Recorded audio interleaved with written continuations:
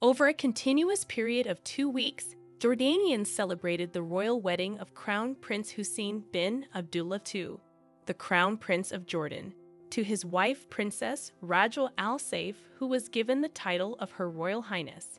The event received significant global attention and was attended by over 1,700 individuals, including kings, presidents, princes, and prominent figures from Arab and international backgrounds.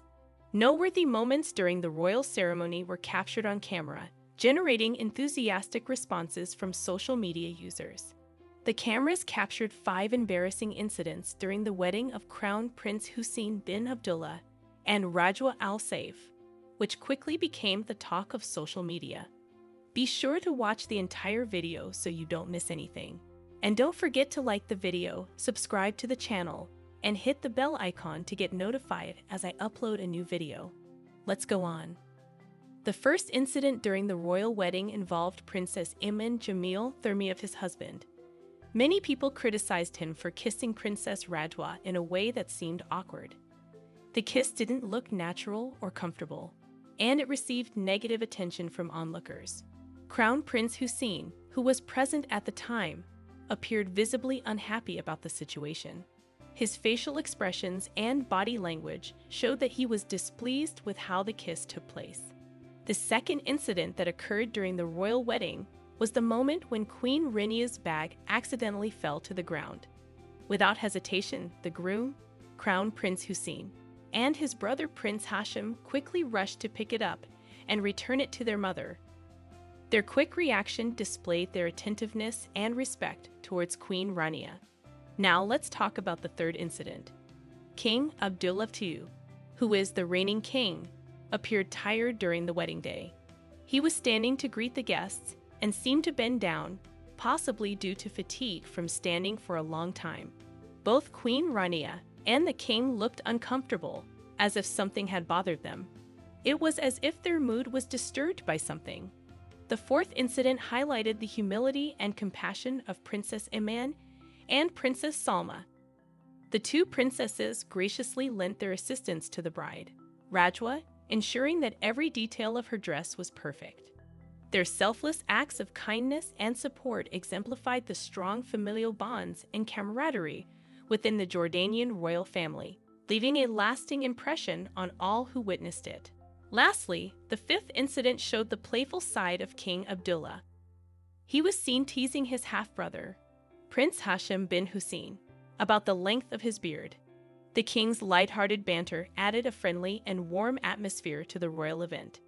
King Abdullah bin Hussein posted a tweet through his official Twitter account in which he said, Heartfelt thanks to our fellow Jordanians for sharing in our joy as we celebrated Hussein and Rajwa. Grateful to all our friends for coming from near and far to celebrate with us. Queen Rania shared photos from the royal wedding of Crown Prince Hussein through her official account and captioned them May God bless you both and fill your home with love and happiness. As for the groom, Crown Prince Hussein bin Abdullah, he posted on Instagram on Friday God has blessed me with Rajwa, the light of my life and my lifelong companion. May our marriage bring us both peace and warmth. I pray that God continues to bless us. Once again, my deepest thanks to everyone who celebrated with us from our beloved Jordan, as well as our family and loved ones from around the world. On the other hand, the attention of the followers was drawn to the crown worn by Princess Rajwa Al Saif during her wedding to Crown Prince Hussein of Jordan. They noticed the inscriptions on the crown, which read Rajwa from God. The crown was adorned with diamonds, Many reports speculated about the possibility of Queen Rania gifting the crown to her son's bride as a wedding present, while other reports suggested that the crown was a gift from the bride's family on the occasion of her wedding. The crown appeared exquisitely designed, indicating that it was a new crown specifically made for her, just like it happened with Princess Iman.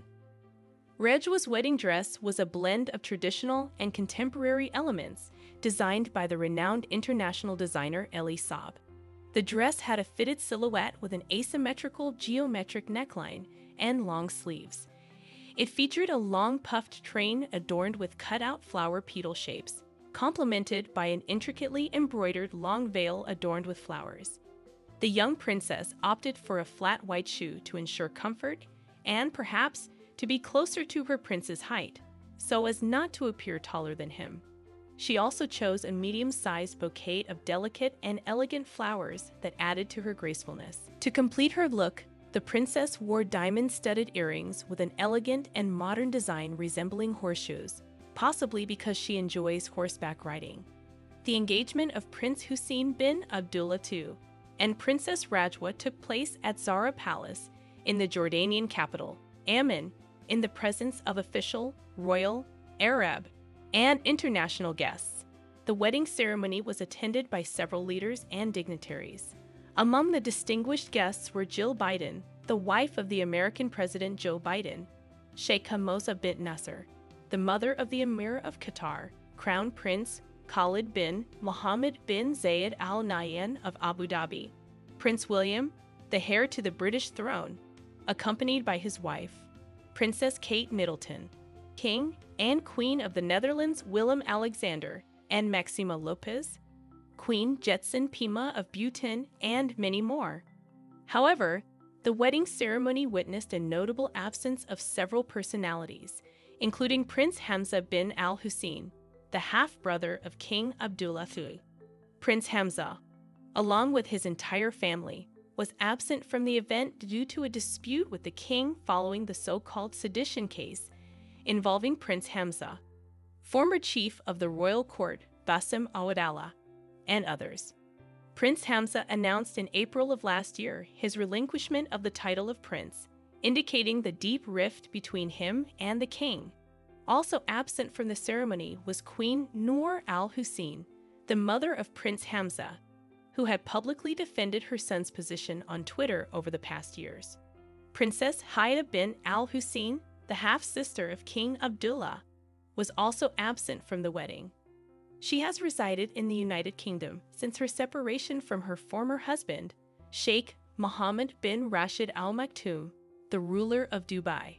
Notably, Saudi Arabia's Crown Prince Mohammed bin Salman was among the prominent absences. Saudi and Arab media outlets circulated semi confirmed reports about his intention to attend. It is noteworthy that the absence of Prince Mohammed bin Salman was not compensated by the presence of any other Saudi prince or official. Despite the fact that the bride, Rajwa Al Saif, holds Saudi nationality, no officials from the kingdom attended the wedding, unlike most Gulf countries. And that's it. If you enjoyed the video and want more like it, be sure to leave a thumbs up below in appreciation. And if you haven't already, you really want to subscribe, subscribe to my channel and tick the bell icon so you get notified as I upload a new video every week. See you in the next video.